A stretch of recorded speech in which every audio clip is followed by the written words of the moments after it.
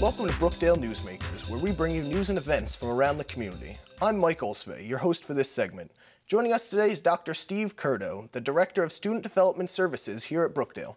Hi, Steve. Thanks Mike, for joining thanks, us. Thanks for inviting me. Um, so Brookdale is running a first-year experience program. Could you explain to me a little bit about what that is? Sure. Uh, we're really excited. The first year experience is really an attempt to support students and uh, ensure their success. And uh, we had a work group that came up with this whole great first year experience road trip and passport program. Um, so it centers around uh, combining all the activities that students can normally participate in and giving them some structure and some emphasis. So it's really to condition new high school students coming into Brookdale um, for college life. Exactly, all first year students and uh, again, introducing them to all these activities and giving them some direction on a road trip and the passport to help guide them through it. What is the uh, first year experience passport?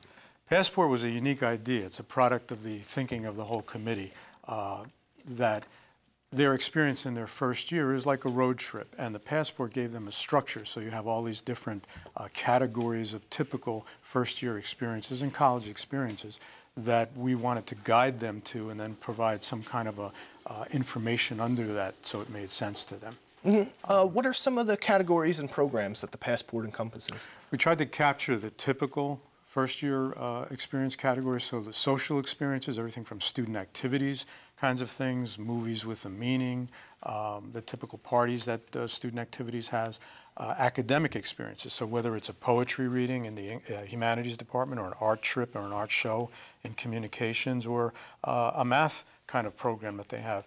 Uh, it's a typical academic experience. We have college skill uh, sets so that everything from time management to um, learning how to explore your own career uh, and occupational interests. Um, and then we have uh, a meeting with a counselor is one of the important ones, and um, a service and citizenship, which is an attempt to get students engaged with the community. Now, it's my understanding when a person completes a program that's, patch, that's passport eligible, they get a stamp. Is that correct? Yes, for every event that they attend under one of the categories, they would get a stamp. So the goal is to get all six categories stamped. Um, through the fall semester. Uh, what do students do with their completed passport? Well, we've uh, put together a nice, uh, there'll be a capstone party at the end of the semester. Uh, probably will run in this anti-stress week sometime in December. And uh, the intent is to uh, have students turn these passports in. We'll have clearly marked locations where they would hand them in around the campus and at the higher ed centers.